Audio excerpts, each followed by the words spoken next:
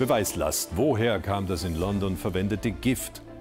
Krisenmodus. Wie entwickelt sich das amerikanisch-russische Verhältnis? Und Terrorabwehr. in Minister Seehofer im Terrorabwehrzentrum. Das und mehr um 23 Uhr in der Sendung Der Tag.